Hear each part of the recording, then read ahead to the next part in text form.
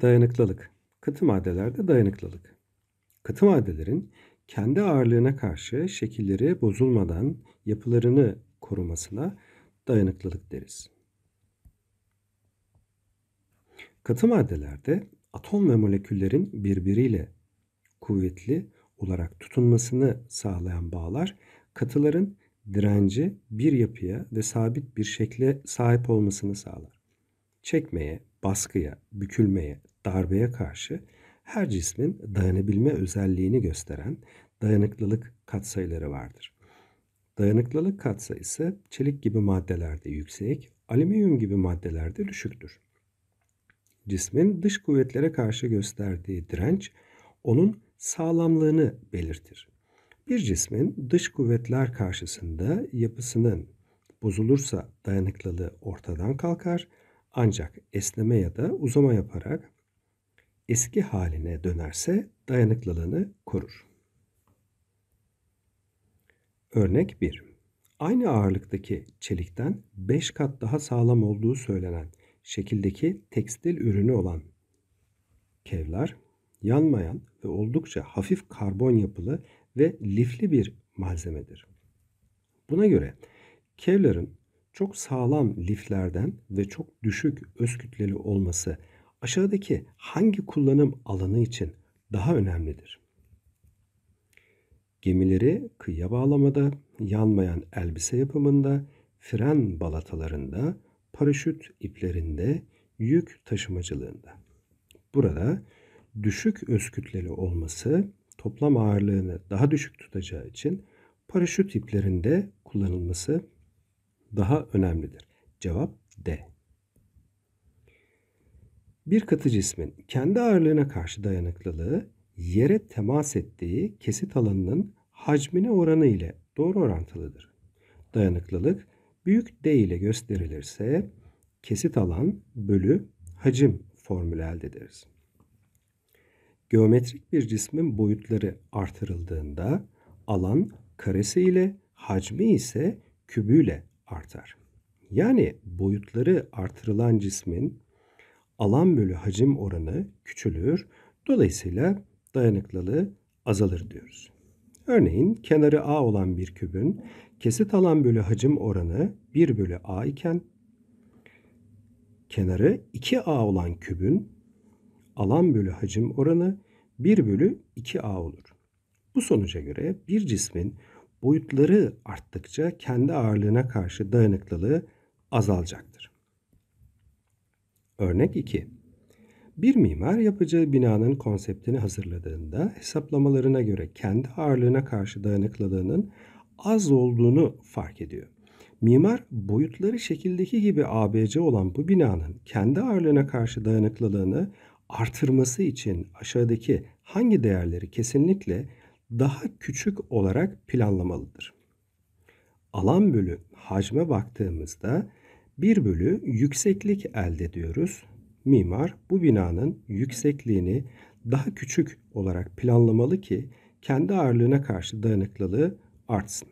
Cevap C. Adezyon ve kohezyon. Katı maddeyi oluşturan moleküller yer değiştirme yapmazlar. Kısmi değil, bir bütün olarak hareket ederler. Sıvılar ise daha farklıdır. Sıvı molekülleri bir yerden başka bir yere hareket edebilir, akabilirler. Akma özellikleri nedeniyle akışkan adını alırlar. Sıvı moleküllerinin kendi arasındaki çekim kuvvetleri ve temas halindeki katı molekülleri arasındaki kuvvetler adezyon ve kohezyon kuvvetleri adını alır. Adezyon ve kohezyon kuvvetlerinin sonucunda kılcallık ve yüzey gerilim oluşur. Kum, toz şeker, tuz, buğday, baharat gibi çok küçük tanelerden oluşan katı maddeler akışkanlar gibi konuldukları kabın şeklini alırlar. Bir kaptan başka bir kaba aktarılabilirler. Sıvı molekülleri kuvvet uygulamakla sıkıştırılamazlar. Gazlar ise sıkıştırılabilirler. Adezyon ve kohezyon kuvvetlerinin ikisi de elektriksel kuvvetler etkisiyle oluşur. 1. Adezyon kuvveti. Sıvı molekülleri ile temas halindeki katı maddelerin molekülleri arasındaki Çekim kuvvetine adezyon kuvveti denir. Adezyon kuvveti sıvının ve katının cinsinden etkilenir. Örneğin su molekülleri ile cam molekülleri arasındaki kuvvet civa molekülleri ile cam molekülleri arasındaki çekim kuvvetinden daha büyüktür. Görsellere bakalım. Cama adezyon kuvvetiyle tutunmuş su damlası görülüyor. Adezyon kuvvetlerinin bileşkesi damlanın ağırlığına eşit büyüklükte olduğu sürece bu damla bu cam yüzeyde tutunmaya devam edecektir. Adezyon kuvveti katı maddeler arasında da gerçekleşir. Tozların duvara tutunması, unun kuru ele yapışması buna örnek olarak verilebiliyor. Örnek 3. Ağırlığı 2 Newton olan çay dolu bardağın tabağı 1 Newton olup şekildeki gibi sehpa üzerinde şekil 1'deki gibi durmaktadır. Çay bardağı ile tabağının arasında ağırlığı ihmal edilecek kadar küçük su vardır. Necla bardağı yukarıya doğru kaldırdığında bardak tabağına şekil 1'deki gibi tutunarak duruyor. Şekil 2'deki gibi. Buna göre diyor yargılarından hangileri doğrudur? Bakalım. Necla'nın bardağa uyguladığı düşey kuvvetin büyüklüğü 3 Newton'dur. Evet. Ağırlık 2 Newton'du. Bardağın ağırlığı 1 Newton'du. Toplam 3 Newton'luk kuvvet uygulamamız lazım. Bardakla tabağı arasında adezyon kuvveti 2 Newton mudur? Hayır. Bardakla tabağı arasındaki adezyon kuvveti 1 Newton mudur? Adezyon farklı moleküllerin birbirine uyguladığı kuvvetti. Bardak tabağı dengeleyebilmesi için tabağın ağırlığı kadar yani 1 Newton'luk kuvvet uygulaması lazım. Cevap D.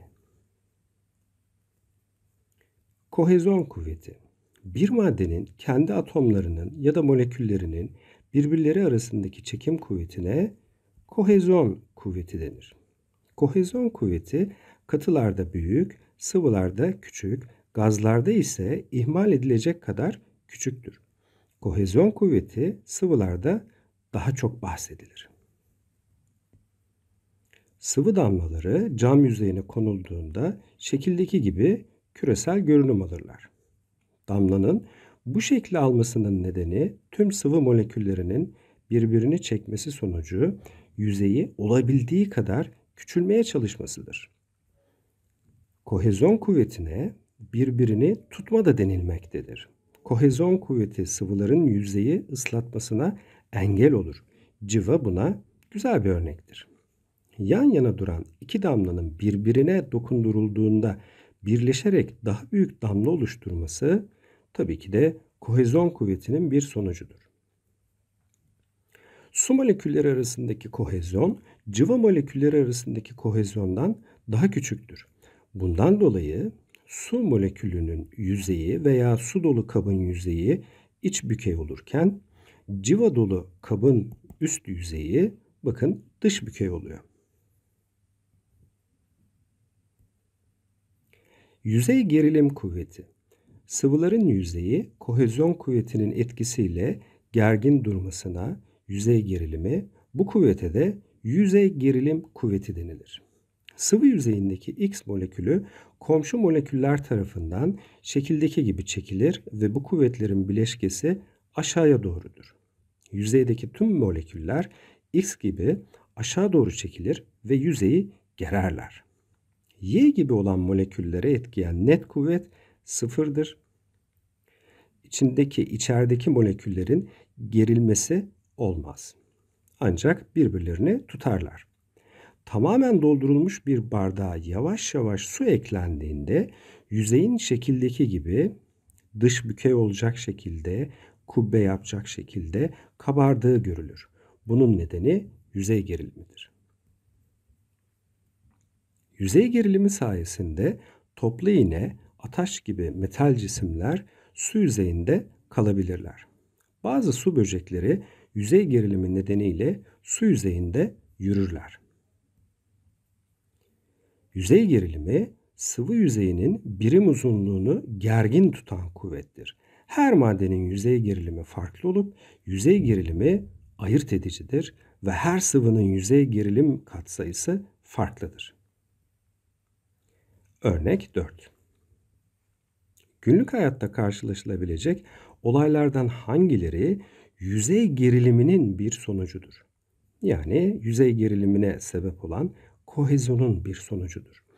Yağmur damlasının küresel şekli alma eğilimi. Kohezyon kuvveti etkilidir.